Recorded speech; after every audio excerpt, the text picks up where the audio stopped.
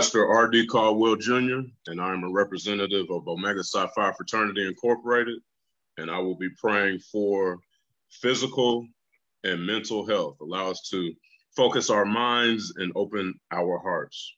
Dear Heavenly Father, I come before you as humbly as I know how. God, I thank you for this powerful time of prayer and this experience right now, Lord. God, we thank you that your word says, For God have not given us a spirit of fear, but of power and of love and of a sound mind. God, we thank you for blessing us with this sound mind and that we have the ability to overcome and conquer the spirit of fear.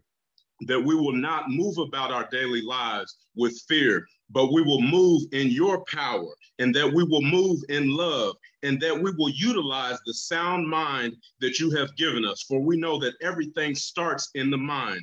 God, continue to give us a mind to pray, a mind to meditate on your word, a mind to fellowship, and a mind to fulfill our purpose and destiny. But we also know that your word says that we are not ignorant of Satan's devices. And we know that one of the strategies of Satan is to take us out by inflicting us with infirmities, sicknesses, and diseases. But your word says in 3 John 2, Beloved, I wish above all things that thou mayest prosper and be in health, even as thy soul prospereth. So, God, we know that it is within your will for us to walk in and experience your divine health. So, God, continue to send us and connect us with the right resources to experience your divine health, oh God. You have given us the ability in our limbs, God. We also have the ability to move them. We know that your word says even bodily exercise profit a little. So we know that there is benefit in exercise. God, continue to give us a mind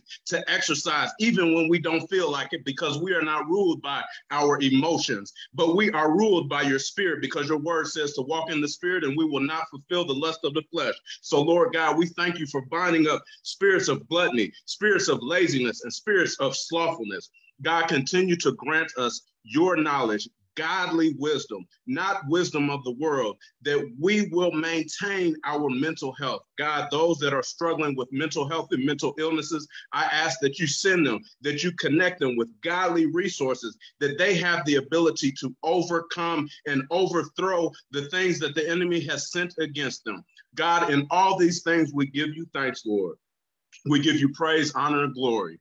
And we look forward to you hearing and answering our prayers, for you are a deliverer and you are a healer. In Jesus' name, amen.